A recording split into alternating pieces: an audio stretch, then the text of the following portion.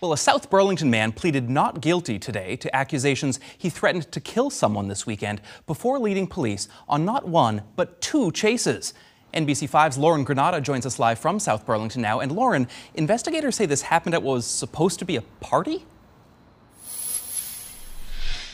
Jack, that's right. This all happened here at the former Silver Palace restaurant. You can see behind me, the front door is boarded up today. It was smashed yesterday when Faisal Abdirahman allegedly threatened to kill someone inside.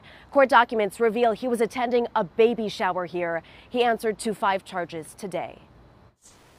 I'd rather be in court. Instead, 40 year old Faisal Abdirahman appearing virtually Monday from the Northwest State Correctional Facility, pleading not guilty to five charges. Police arrested him Sunday just after 4 a.m. In this case, uh, this subject was known to the police and was known to have weapons. According to the affidavit, Abdirahman was attending a baby shower at the former Silver Palace restaurant on Williston Road when he got into a drunken fight with the owner. The suspect was uh, reported to um, be threatening the complainant with a firearm as he was smashing his way into the restaurant. Police say when they got there, Abdirahman drove away in a van, leading officers on a chase down I 89 South, reaching speeds of 100 miles per hour. What went on uh, early Sunday morning was um, you know fairly risky. Williston police encountered him near Maple Tree Place when he allegedly tried to ram into their cruiser, leading them on another pursuit until they eventually used spike strips to stop the van and arrest him. The court court finds that the alleged behavior in this case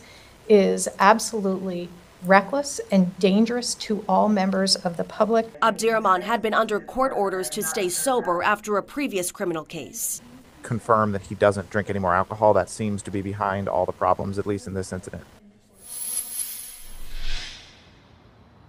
Now, Abdirahman was released on conditions that he is allowed to go to his job, but he's not allowed to drive or drink alcohol. He is expected to appear in court again on November 15th for his hearing on this baby bash gone wrong.